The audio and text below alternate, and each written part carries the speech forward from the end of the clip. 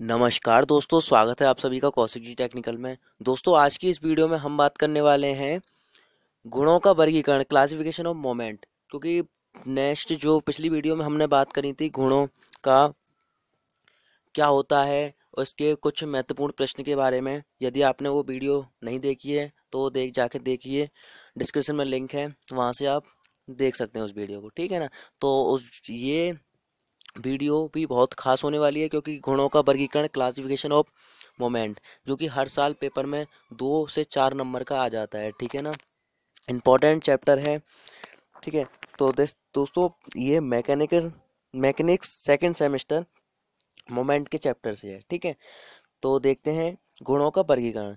इनके घुमाव बिंदु के परित प्रभाव के आधार पर किया गया है। ये निम्न प्रकार से हैं। तो गुण कितने प्रकार के होते हैं? तीन प्रकार के। कौन कौन से गुण होते हैं? पहला है घुमाऊ गुण टर्निंग मोमेंट नेक्स्ट है नमन गुण नमन गुण मीन्स बेंडिंग मोमेंट उससे भी नेक्स्ट है ऐठन या मरोड़ गुण ट्रेजिंग मोमेंट ठीक है ना? ठीक है? ट्विस्टिंग मोमेंट ठीक है? तो ये तीन प्रकार के गुण हैं। इनकी आप विस्तृत तरीके से जानते हैं इसको जाके। तो पहला है घुमाऊ गुण टर्निंग मोमेंट तो यह गुण किसी बिंदु किसी वस्तु को उसकी आलंबन के प्रति घुमाता है। इस प्रभाव, इस दशा में वस्तु अपनी आलम या टेक्स पर घुनन के लिए स्वतंत्र होती है। दोस्तों, ये आप पढ़ लेना, लेकिन मैं बता देता हूँ कैसे होती है ये। तो जैसे आप इस चित्र में देख सकते हो कि ये कोई वस्तु है, जिस पर बल लगाया जा रहा है इधर से, ठीक है ना? ये आपकी कोई वस्तु है, इस पर बल लगाया जा रहा है इधर से। तो जब ये इस टाइप मोमेंट होगी, इस टाइप ठीक है ना? तो ये क्या होगी?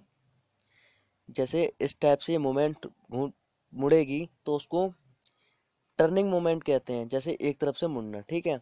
तो आलम टेक में घूमने स्वतंत्र होती है। अच्छा चित्र के अनुसार यदि पर पैमाने में छेद करके उसके दीवार के कील लगाकर लटका दें, कोई कील लगाकर लटका दें, एक छैतीस बल पी कील से डी दूरी नीचे पैमाने लगाए तथा पैमाने प्रभाव दिशा में बल P और घूर्ण P इंटू डी के प्रभाव में घूमेगा।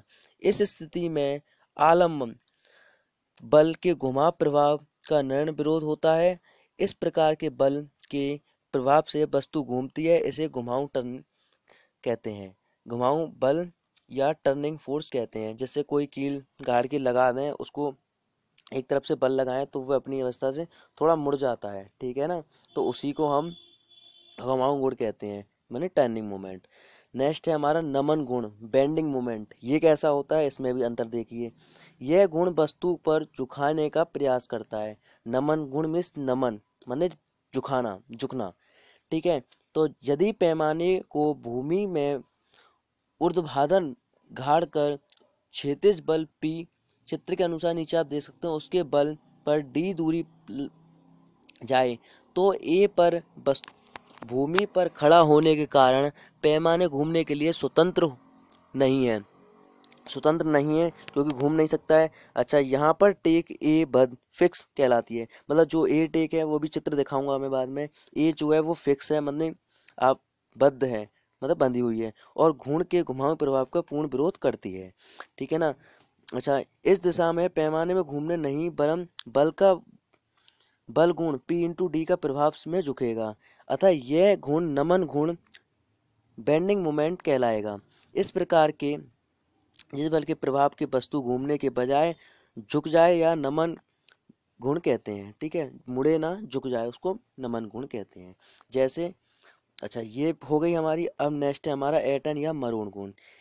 तो दोस्तों ये जो है, ये गुण वस्तु को ऐठन का प्रयास करता है। ये इसमें जो है, ऐठन होती है वस्तु में, ऐठन पड़ जाती है, ठीक है ना? साफ्ट में एक सिरे, ये चित्र में आप देख सकते हो, एक सिरा बद्ध है, दिया बाद दिया है। स्वतंत्र सिरे बी पर एक बल पी कार, प्रकार लगाया जाता है कि ये साफ्ट ना घूमे, ना झुके ही, इसके मरोड़ होता है। इसमें जो केवल मरोड़ होता है, ना झुकती है, ना घूमती है, ठीक है? तो इसमें होता है पी इंटू आर। ऐठन या मरोड़ गुण ये थोड़ा दिख नहीं रहा इसके लिए। सॉरी अच्छा मरोड़ बल कहलाता है, ठीक है ना? तो इसमें इस प्रकार जिस बल प्रभाव के वस्तु में ऐठन पैदा होती है, ऐसे ऐठन बल कहते हैं। दोस्तों, एक बार आपको अपनी भाषा, आपकी अपनी भाषा में समझा दूँ कि तीन प्रकार के जो हमने बताए हैं, घुमाऊ गुण। घुमाऊ गुण में क्या होता है कि वस्तु जो है, अपने हिसाब से थोड़ा एक तरफ़ हम बाँध कर दें और एक तरफ़ से फोर्स लगाएँ तो थोड़ा घूमेगी इस हिसाब से, ठीक है? इस हिसाब से थोड़ी अपनी मुड़ जाएगी, ठीक है? उसके बाद था हमारा नमन गुण। नमन गुण में क्या होता है? एक को बंद कर दें तो उसमें नीचे झुकेगी। इसमें जो है हमारी नीचे झुकेगी वस्तु। अच्छा नेक्स्ट था हमारा ऐठन। ऐठन मरोड़, ऐठन या मरोड़ गुण, इसमें ना तो झुकेगी वस्तु, ना तो झुकेगी और ना ही वो मरोड़ होगी, ठीक है ना? ना ये वो, पहला जो हमारा था पहला हमारा था घुमाऊं ना घूमेगी, ना ओनली मरोड़ हो जाएगी उसी जगह, ठीक है ना? तो ये थे हमारे गुणों का वर्गीकरण।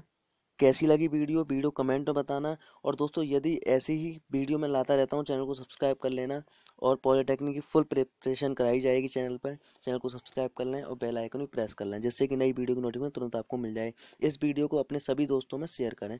धन्यवाद। वीडियो को लाइक करें। Thank you.